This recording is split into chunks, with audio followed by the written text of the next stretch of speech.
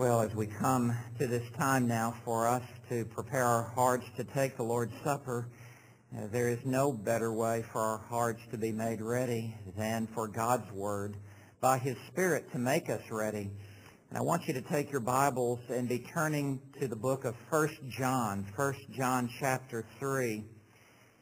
It's difficult to make choices on a Lord's Supper Sunday evening like this not because it's hard to find a passage, but because there are so many passages that speak to the death of Christ for us.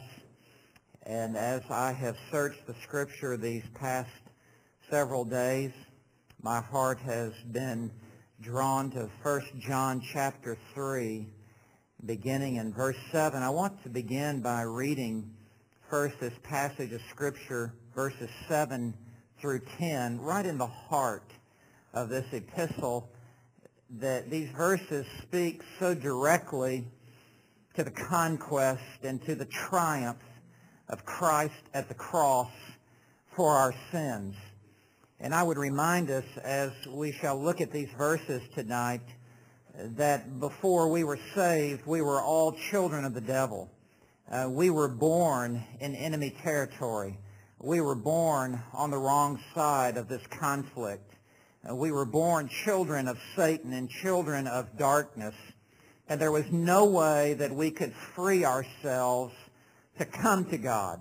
Uh, there was no way that we could escape the tyranny of Satan and the rule of the devil in our lives. And the purpose of Christ coming into this world, amongst many different reasons, was to deal a devastating blow to Satan and a devastating blow to the devil to free his grip of us that we might be released from Satan's uh, tyranny and his rulership, that we might come into the kingdom of God. And so as Christ came, he came for this purpose to destroy the works of the devil so that we might be set free and to come into God's kingdom. Uh, it always amazes me people who think that they could come to God through their own efforts and through their own religion. And they do not understand the grip that their life is in Satan, and Satan will not let go. And it was only through the cross of Jesus Christ, only in his coming into this world was, uh, was the devil utterly defeated by Christ, and we have now been set free to come into the kingdom of God. And so as we come to take the Lord's Supper, my desire is that these verses would remind us of this great victory of Christ on our behalf as he literally came into this world and entered the devil's battleground.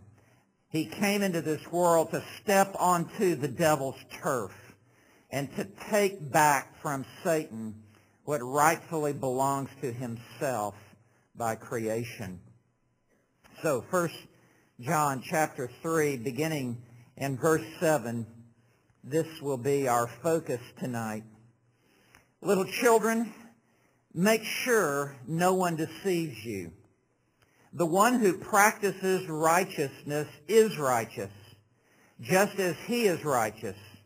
The one who practices sin is of the devil. For the devil has sinned from the beginning. The Son of God appeared for this purpose, to destroy the works of the devil. No one who is born of God practices sin because his seed abides in him. And he cannot sin, meaning he cannot practice sin because he is born of God. By this, the children of God and the children of the devil are obvious. Anyone who does not practice righteousness is not of God, nor the one who does not love his brother. These verses spell out for us in very clear and unmistakable um, explanation the mission of Christ coming into this world. And we could certainly assign many different reasons why Christ came into this world. But at the apex of all of those reasons, it was he came to secure eternal redemption for his people, and he came to free us from the grip of Satan. Let's look at these verses. And as we do, I want you to see them under three headings with me tonight. I want you to see the contrast in verse 7 in the first part of verse 8. And then the conqueror in verse 8b. And then finally, I want you to see the change in verses 9 and 10. Uh, let's begin with the contrast in verse 7 and the beginning of verse 8. He begins by saying, little children. And as Paul says this, uh, there's a pastor's heart in the Apostle John uh, as he expresses in terms of endearment his, his fond affection for the believers, for the brothers and sisters in Christ. He is the aged apostle. He is the last living apostle. He is probably in his 90s at this point.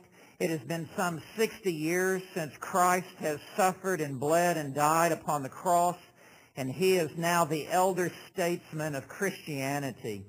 And so as he writes this, he begins by saying little children. All believers were little children to uh, this apostle who is in his 90s. But he, he, he begins to pour his heart out to us, and he sounds a word of, no, of warning.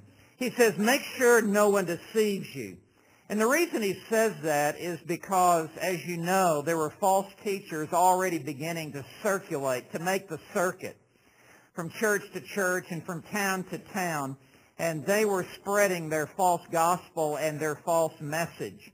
And at this particular time, there was a false teaching that was referred to as Gnosticism, which was a very complicated philosophical um, teaching that took uh, the truth of Scripture, but it also, but it then added to it uh, many damnable lies such that the truth of Scripture was no longer the truth of Scripture.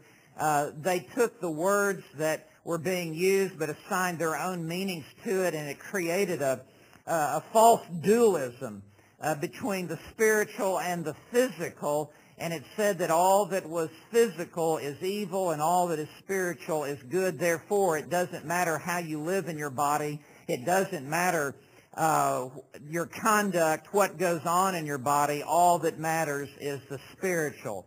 And it just opened uh, a massive door in the church for people when they heard this to have the impression that they could live however they wanted to live and the course of their life really was not important and it's called license and they felt that they had a license now to come to church and uh, to sit under the teaching, but then go back out into the world and live however they wanted to live.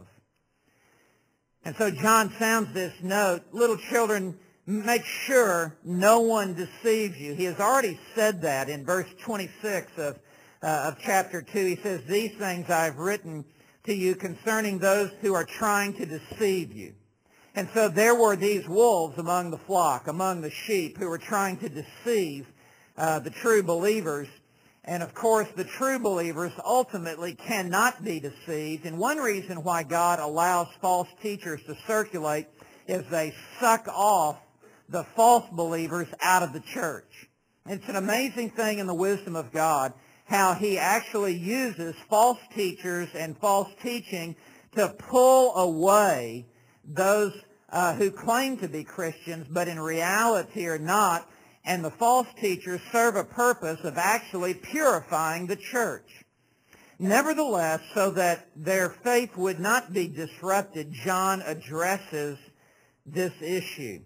The issue being that if you are a true believer in Jesus Christ, that you will uh, manifest a righteous life and a pursuit of holiness in your life, and there are no exceptions. And that's why it says in verse 7, little children, make, make sure no one deceives you. Now here is the antidote for the deception. Here is what they need to never forget. They were hearing the opposite of this from the false teachers. the one who practices righteousness is righteous, meaning is saved. You can know the one who is truly saved because they are charting a course with their life in the pursuit of righteousness and holiness. So that's what he is saying here. Now, under that, I want to begin by drawing your attention to the contrast. And in the contrast, here we see that there are only two groups of people in all the world. And there are those who are of God, and there are those who are of the devil. And certainly, if you have been around this church any length of time, that has been reiterated time and time again. Uh, that in fact, there are only the saints and the ain'ts. Uh, there are only those who are in Christ and those who are outside of Christ, and there are no other categories of people in the world. Now, he gives us the first category in verse 7, which would be those who do know Christ in a personal way. He says, the one who practices righteousness. Stop right there. This is the true believer. This is the one who genuinely knows Christ in their hearts they are practicing righteousness. Now, this does not mean that they are sinlessly perfect. This does not mean that they do not continue to sin. They do. In fact, earlier in this book, in chapter 1, verse 8, John wrote, if we say we have no sin, we deceive ourselves and the truth is not in us. But for the one who has been born of God, there is a new direction for that life. There is a new path that that life is uh, undertaking, and it is a path whereby one is practicing righteousness. And this speaks of lifestyle. This speaks of habitual conduct. This speaks of the main or major characteristic of that person's life. And everyone who has been genuinely born again from above now is practicing righteousness. Uh, they have God's divine nature within them, and there is this new fruit that is being produced in their lives. And so he says, the one who practices righteousness, and the word righteousness in this case really is a synonym for holiness. Uh, the word righteousness means conformity to a standard, that standard being the character of God and the Word of God. And so the one who is practicing, who practices righteousness, he says, is righteous. And what that means, the one who is practicing righteousness has been declared righteous by God in justification. What this verse is doing is connecting inseparably two tremendous doctrines justification and sanctification. Justification is we have become righteous in the sense that we have been declared the righteousness of Christ by God. That has been charged to your account. And everyone who has been declared righteous at the moment of salvation, and that is a forensic declaration by God everyone who has been justified now begins the pursuit of practicing righteousness. Uh, it's impossible to be declared righteous and then your life continue to practice sin. The one who is righteous practices righteousness. That's what John is saying. It's a very profound truth. And he goes on to say, so much so, at the end of verse 7, just as he, referring to Christ, is righteous. And so there is now the declaration of Christ's righteousness to us, as well as now the pursuit of a practical righteousness in the Lord Jesus Christ. There is so much theology that is concentrated and contained in verse 7. It, is a very profound verse. It is able to say in but a few words some, some uh, great unsearchable truth. So this is the first uh, category of people in the world They are the ones who are practicing righteousness, and they are righteous just as Jesus is righteous. Now, there is another category. There is a contrast. There is a second group. And in verse 8, John clarifies for us. He says, the one who practices sin is of the devil. This tells us right here that those who are outside of Christ, those who have not been declared righteous, they are of the devil, meaning the devil has them in his grip. The devil is, is blinding their eyes. The devil is at work in their life. The devil has their heart in his grip, and the devil has them in bondage and in blindness. The devil has them in a, in a, in a lost state from which they cannot escape. And he says, this one who is of the devil practices sin. There is this ongoing desire to sin. There is this ongoing lust for sin. Uh, and when that sin is practiced, uh, there is no sense of, uh, of guilt. There is a sense of pleasure as they continue to go further and further down this path. And he says that it has to be this way, for in verse 8, the devil has sinned from the beginning. From father to child, there is this passing down of, of family uh, of family traits. And the devil himself is the first one to sin. Therefore, everyone who is of the devil will do the same. Everyone who is of the devil will practice sin because the devil was the originator of sin and the devil was the first one to sin. When you, can, when you go home, you can look up these verses, Isaiah 14, 12 through 14, and Ezekiel chapter 28, verse 11. I think it goes through verse uh, 15 and 16.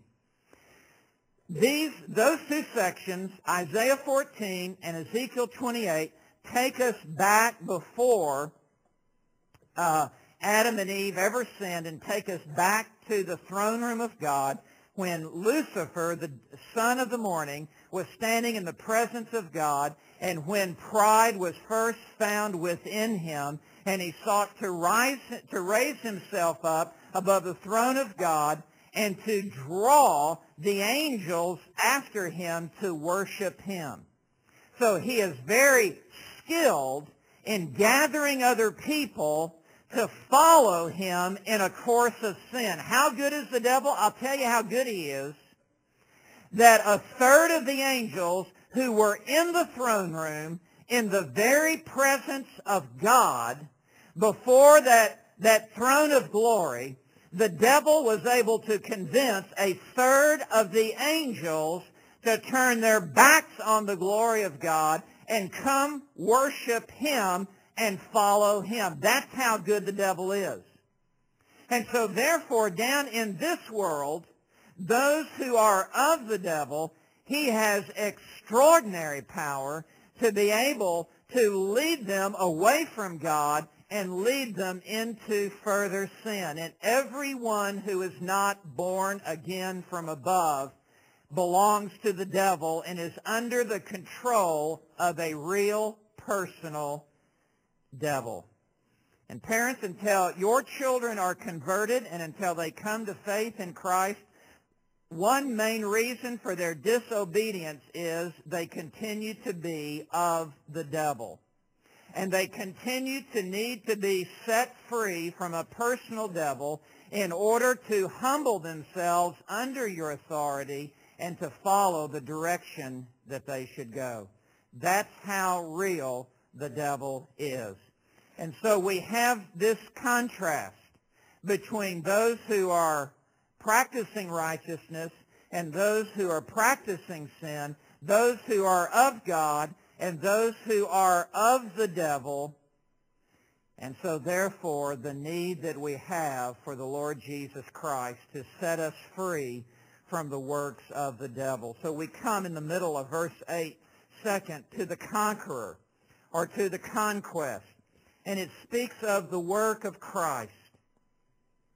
The Son of God, referring to none other than the second member of the Godhead, the Son of God, Jesus Christ, the Messiah, the Son of God, appeared for this purpose. He appeared referring here to his entrance into this world through the womb of a virgin, born unlike everyone else who has entered into this world, born not of the devil, but born a virgin birth. He appeared for this purpose. He came on a mission. He came for a reason specifically, and it says to destroy the works of the devil. The works of the devil to, to blind the eyes of the unbelieving, the works of the devil to keep people who are lost in estrangement toward God, the works of the devil to paralyze the will of unbelievers so that they cannot believe upon the Lord Jesus Christ. I want to take you to some verses that I think will help uh, uh, expand upon this. Come back to Genesis chapter 3, if you would, and verse 15, the very first mention of Jesus Christ in the Bible. The very first direct mention of Christ in the Bible. Uh, Genesis 3 and verse 15. It's called the Proto-Evangelium, which means the first mention of the gospel. Here it is in Genesis 3 verse 15. And I want you to see how this is, how this is described for us. The first mention of the gospel in the Bible is pictured as Christ coming to destroy the devil and wield a death blow to the devil. Genesis 3 verse 15. This is part of the curse. Jesus, or God says, I will put enmity between you and the woman. Now he is addressing this to the serpent. Verse 14, the Lord said to the serpent, he says, I'm going to put enmity between you and the woman, and between your seed and her seed. Now, right there, there is a statement of spiritual warfare at the very dawn of redemptive history. There would be the seed of the devil, and there would be the seed of the woman. And the seed of the devil refers to all those who would be born into this world under the captivity of Satan. But he also refers to the seed of the woman, and this points ultimately to the Lord Jesus Christ himself, who would be born of a woman, Mary, Galatians 4, 4, he was born of a woman in the fullness of time, under the law. Now here's what would happen when Christ would come. He shall bruise you on the head, and you shall bruise him on the heel. What a struggle would take place when he would come. There would be direct conflict, and there would be hand-to-hand uh, fighting that would go on between Christ and between the devil when Christ would come into this world and the devil would bruise the Lord Jesus Christ upon his heel. And it refers to uh, uh, the, the opposition of Christ, uh, of the devil against Christ when he came into this world, ultimately at the cross. As Satan was the one who was inciting the Jewish leaders, he was the one who was revving up the crowd that day to cry out, crucify him, crucify him and to release Barabbas, Satan was the one who was behind that, inciting the passions of that crowd that day to rise up in anarchy and to put to death the only perfect man who ever came into this world. Satan did that. Satan did that. And Jesus understood that when he was in the upper room. And in John 14, verse 31, after Judas had left, Jesus makes comment that now the devil is making his way to the upper room. And it was a time of satanic activity there at the end. But upon that cross, Jesus would do something upon that cross that would have eternal significance for you and for me. And he says in verse 15, he says, he shall bruise you on the head. Far worse to be bruised on the head than to be bruised on the heel. And to be bruised on the head is fatalistic. To be bruised on the head is to wield a blow in such a way that it, that it devastates and renders powerless the one who has been subjected to such a blow. That is what Jesus Christ did upon the cross for us. We were of the devil, and we were in bondage to the devil before we came to faith in Jesus Christ. And through Christ's atoning work and through his victory at the cross, he crushed the head of the serpent and of Satan such that we might be set free to enter into the kingdom of God. Let me show you some other verses. Come to the Gospel of John, if you would. John chapter 12 and verse 31. Jesus declared this before he went to the cross in John chapter 12 and verse 31. Jesus, looking ahead to his death upon the cross, said, Now judgment is upon this world. Now the ruler of this world will be cast out. And I, if I am lifted up from the earth, will draw all men to myself. It would be through his death upon that cross when he was lifted up to die that he would cast down the devil and men and women would be liberated and set free to be drawn to himself through his death upon the cross. Come to John 16 and verse 11. And Jesus said that this is at the heart of the ministry of the Holy Spirit to come into this world and to convict men, beginning in verse 8. And he, when he comes, will convict the world concerning sin and righteousness and judgment. I tell you, the Holy Spirit of God is an old-fashioned preacher. The Holy Spirit of God has come not to tickle felt needs. The Holy Spirit of God has come not to stroke the egos of the unbelieving. The Holy Spirit of God has come not to pamper the flesh. The Holy Spirit of God has come to bring an indictment to the hearts of the world and to indict the world of sin, righteousness, and judgment. And he goes on to expound this concerning sin because they do not believe in me. This is the, the primary ministry of the Holy Spirit in the heart of those who are lost to convict them and to convince them of the sin of unbelief that they have rejected the Lord Jesus Christ and to clarify where they stand with Christ. That there would be no ambiguity in the heart of the lost.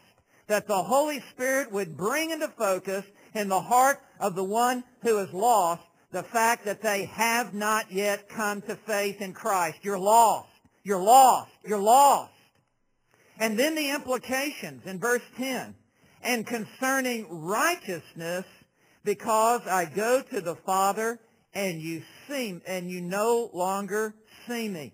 What this is saying is the Holy Spirit of God is convincing the hearts of all who are lost that the only way you can go to God is to have a perfect righteousness. You cannot arrive there with your own righteousness. There is only one way to come to God, and that is through the perfect righteousness that Christ alone can provide. And if a person continues in unbelief, verse 11, and concerning judgment, because the ruler of this world has been judged. And that speaks to the cross. And that speaks to the work of Christ who came to destroy the works of the devil at the cross. And here's the implication. If the devil is judged, if the devil has come under the judgment of God, and he has, my friend, at the cross, how much more all of those who have the devil as their father, who have not yet been saved, if God has brought judgment to the greatest of the rulers of the kingdom of darkness, how much more all the lower imps in the kingdom of darkness? If Satan himself will not pass the judgment of God, neither will any lost person who continues to reject Christ. And this is the ministry of God the Holy Spirit, to convict men of sin and righteousness and judgment. Adrian Rogers says it's the work of the Holy Spirit that when the gospel is being preached, the Holy Spirit is walking up and down the aisles of the church, tapping people on the shoulder and saying, whispering in that ear, he's talking to you, that this is the truth, and you're lost, and you need to be saved. You're just an old lost church member who's never been born again, and you do not have the righteousness of God, and there is a judgment that's awaiting you. And the preacher may have a smile on his face, and there may be flowers on the offertory, and there may be wonderful music being played, but there is a smoke alarm that's going off in the human heart that is telling you you're lost, you're lost, you're lost, you're lost. And so that is the work of the Holy Spirit. And at the heart of that, verse 11, concerning judgment, because the ruler of this world, who is that? That's Satan, has been judged. And is put in the past tense, although it will happen the next day, to certify how certain it is that this will occur. We'll come to 2 Corinthians chapter 4, if you would. 2 Corinthians chapter 4 and we're thinking about how Christ appeared for this purpose to destroy the works of the devil. And in 2 Corinthians chapter 4 and in verse 4, we see the reality of this, of the power of Satan upon, the, uh, upon unbelievers. Beginning in verse 3, and even if our gospel is veiled, it is veiled to those who are perishing.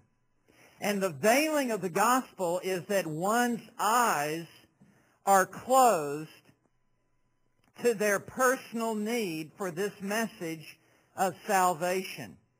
Uh, they hear the gospel being preached and they're thinking, oh, I wish so-and-so was here to hear this tonight. And it is the devil who continues to keep those eyes covered over and to keep a person lost. Verse 4, in whose case the God of this world, who is that? Small g, that's the devil himself. Notice what he has done. Has blinded the minds of the unbelieving. How many of the unbelieving? All of the unbelieving. So that they may not see the light of the gospel of the glory of Christ who is the image of God. Listen. I can stand up here and hold forth a torch, but if you're blind, you still don't see it, right? It doesn't matter how bright and how blazing is the light. If you are blind, you can't see it. And when the gospel is presented and the truth goes forth, people who are blinded by the devil, they cannot put one plus one equals two together spiritually and see their own personal need for salvation. Come to Colossians chapter 1 and verse 13. Colossians 1 and verse 13 speaks to now how Christ has appeared for this purpose to deliver us out of Satan's kingdom. And in Colossians 1, verse 13, we read, For he, referring to Christ, rescued us. And when someone is rescued, that means they're delivered from great peril and great danger. Christ rescued us from the domain of darkness. That, that means our lost estate and it was a domain of darkness because Satan blinded our eyes. And we were living in darkness, spiritual darkness. He rescued us from the domain of darkness and transferred us to the kingdom of his beloved Son, in whom we have redemption, the forgiveness of sins. That's what Christ did for us. He descended from heaven and he entered into this world. We were in the domain of darkness and he himself personally upon that cross rescued us and saved us and delivered us. And I want to say again, this does not say that he made, he, he made us potentially, possibly rescuable and that he did not hypothetically deliver us or potentially save us. It says that he actually accomplished something upon that cross as a stated fact. He rescued us from the domain of darkness. He came and rescued his people. Look at Colossians 2 and verse 15. Colossians 2 and verse 15. And I just want to give you this one last verse to, to give us a flavor for this. That in mentioning the cross, there is this repeated emphasis upon the warfare and upon the conflict, and that through the cross, Christ defeated the devil and therefore won our salvation. Colossians 2 and verse 15, and this is one of those, we need to start in verse 13. When you were dead in your transgressions and the uncircumcision of your flesh, the uncircumcision of your flesh means that your heart was not yet broken towards God. Uh, you, you had not yet, the Spirit of God had not yet cut your heart in a, in a step of circumcision whereby you would be convicted of your sin and brought to Christ. When you were dead in your transgressions and the uncircumcision of your flesh, he made you alive together with him. And that alludes to his resurrection. And that when Christ was raised from the dead, all who were in Christ were raised with him also. And we were, if you were, in his loins. And when Christ was raised from the dead, he made us alive together with him. He won that for us in his resurrection. Having forgiven us all our transgressions. Verse 14. Having canceled out the certificate of debt consisting of decrees against us. Stop right there. All of your sins that you have ever committed in the entirety of your life from the moment you were born all the way to the end of your life to the moment that you die. All of those sins, your sins of omission and your sins of commission, your sins where you didn't do what you should have done, and those sins whereby you did what you should not have done and all of your sins, not only of action, but also of attitude, and also of motive. All of our sins, not only by deed, but, but sins by tongue as well. They were all nailed to the cross. God took all of our sins and nailed them to the cross, and that is the reference to the certificate of debt and all of our sins inscribed, if you will, upon that certificate of debt. And Christ died personally for every single one of our sins upon the cross. And so he canceled out. That means to write across that certificate of debt a statement of cancellation, meaning they have been dealt with. They have been paid in full. That's what Jesus did on the cross. He paid in full. He canceled out our certificate of debt. Therefore, there is now no condemnation for them who are in Christ Jesus. So he canceled out the certificate of debt consisting of decrees against us, which were hostile to us, and all of our sin condemned us before a holy God and he has taken it out of the way. He has taken our sins far away, as far as the east is from the west, so far has he removed our transgression. He is the Lamb of God who takes away the sin of the world. He has taken it out of the way, having nailed it to the cross. And it speaks here of how Christ dealt with our sin intentionally and directly and painfully. As he was nailed to the cross, our sins were nailed to the cross, and he became one with our sin, and he bore our sin in his body upon that cross. And as he died in our place, and as he shed his blood, he canceled out our certificate of debt. Now that, all that is to say, verse 15. Now, something else was going on at the cross.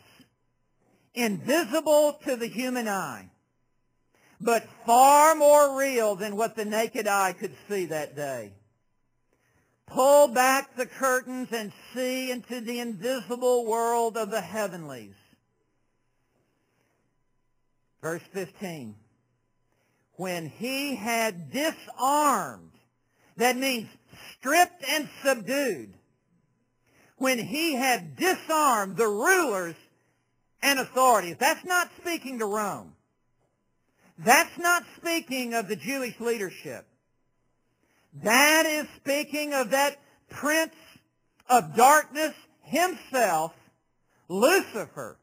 It is speaking of Satan and his leadership in his kingdom of darkness, when he had disarmed the rulers and authorities, he made a public display of them, having triumphed over them through him. And the background, the image of this, as Paul is conveying the spiritual truth to this, is the Roman triumphant procession, whereby a Roman general would leave Rome and he would be assigned soldiers with him and go to a far distant land and they're go into direct conflict on foreign soil with a, a foreign nation and they're utterly defeat that foreign nation and win the spoils of victory. And he would then take the generals and whoever were in leadership of that defeated nation or country and lead them back to Rome and go marching triumphantly down Main Street in Rome all the way to Caesar's temple. And the people would turn out and they would line both sides of that, of that central road. And they would cry out with their hosanna, not their hosannas, they would cry out with their cheers as the conquering general would come marching back he would have his soldiers behind him, and then chained to his chariots would be the leaders of the conquered kingdom that had come under now his domain. And he would literally drag them down the main street and bring them up to Caesar's temple and present them as these leaders who had been utterly devastated through his victory. That is the background of verse 15. That going on in the invisible spiritual world, as Jesus died physically, there was a spiritual triumph that was taking place. And on that cross, as Jesus bore our sin, and as he came under the wrath of God, he won the victory for us and this says that he disarmed the rulers and authorities. He utterly stripped them and he shamed them and he subdued them and he defeated them at Calvary's cross so that you and I could walk away and walk out of that skirmish and enter into his own kingdom. That's what Christ did for us upon the cross, my friend. And when you look at the cross, there is far more going on than the physical agony. And we hear about uh, the Passion of Jesus, this movie Mel Gibson has done that will soon be released. And I understand it's a good movie. There's far more going on than the Passion of Christ. There's far more going on than simply him dying a death physically. There were some 40,000 people who were crucified on crosses. The greatest event of Calvary that was taking place was what you could not see with your naked eye. As your sin and my sin was being laid upon the Lord Jesus Christ, and as he took our sin upon himself, he crushed the head of the devil. And he disarmed the rulers and authorities. And he said, now the prince of this world is cast down. And if I be lifted up, I will draw all men to myself. This is the victory. This is the conquest. And the Son of God appeared for this purpose, to destroy the works of the devil. My friend, you and I are part of the spoils of Calvary. We are the fruit of his work. We are the trophies of his grace by which he has won for all time the victory on our behalf. Finally, I want you to see the change in 1 John, and we're finished. What a change this victory at the cross has won for us. Verse 9 of 1 John 3, the change. No one who is born of God practices sin because his seed abides in him. You can't go to the cross and for your life not to be changed. You can't go to Calvary by faith and to enter into the blood of Christ without your life being transformed from the inside out. No one who is born of God practices sin. He may sin individually, but he cannot habitually practice sin because his seed abides in him. And this seed refers to the divine nature that is put within us. We now have a new mind. We now have a new heart. We now have a new will. We now have a new nature within us. The old things passed away. Behold, all things have become new.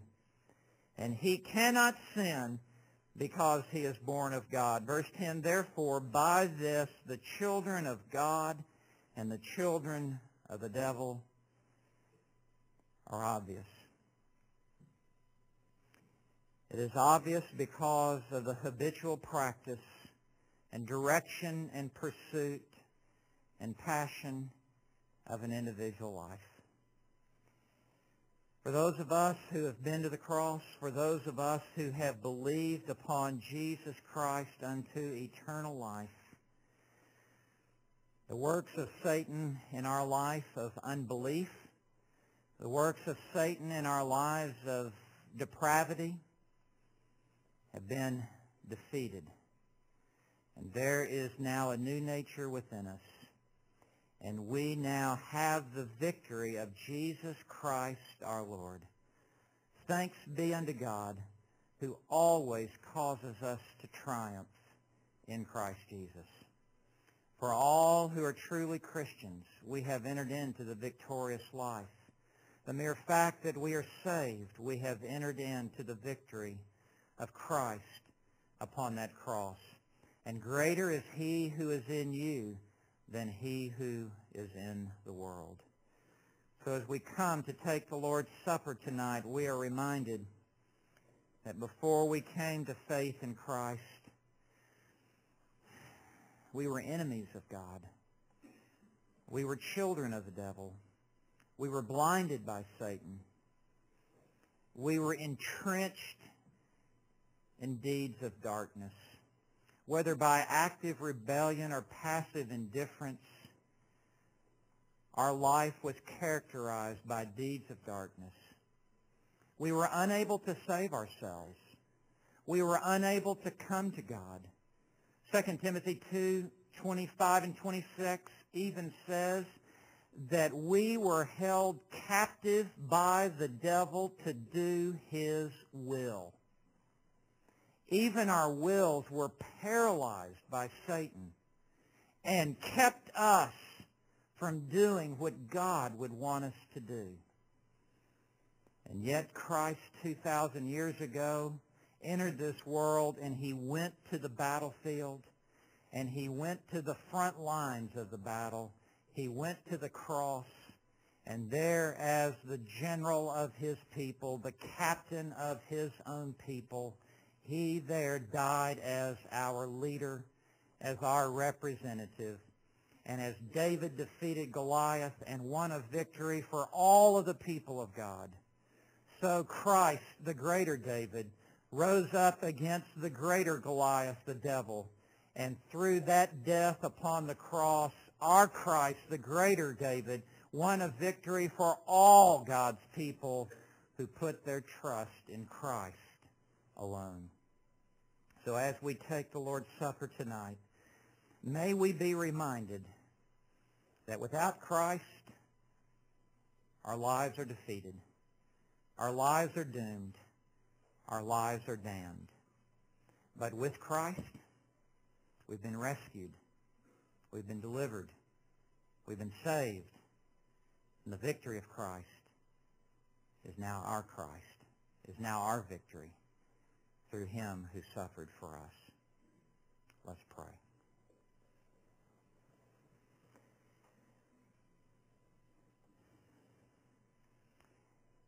Our Father, we do not enter into this time lightly, but in our hearts we think of that conflict upon the cross as Satan was there tempting Christ to come down from the cross, even through those voices that called out to him, come down from the cross, save yourself, the taunts of the devil himself to Christ. Lord Jesus, we praise you tonight that you were so resilient in that day of battle that you persevered with all hell unleashing its artillery against you, that you would not sound retreat, that you would not withdraw from the skirmish, but that you gave yourself unto death in that day of battle upon Calvary. And in that day of battle you won for us an eternal victory over the devil and over our sin and over death and every enemy that our soul knows. We thank you for the sufficiency of that victory and the supremacy of that victory over our sin and over Satan and over death. And so tonight, as we come to the Lord's table, we are reminded that we live in victory we worship in victory. We serve in victory. The victory of Jesus Christ. And so, Father, as we hold the cup and as we hold the bread, may we revel in the victory of our Lord and Savior, Jesus Christ. May there be, even within our own hearts, shouts of, of acclamation that Christ has been victorious on our behalf and has utterly routed the devil and captured him and crushed his head and disarmed him and subdued him and cast him down and through that victory has now lifted us up. Lord, we praise you for this that there is now therefore no condemnation for them who are in Christ Jesus. In Jesus' name we pray. Amen.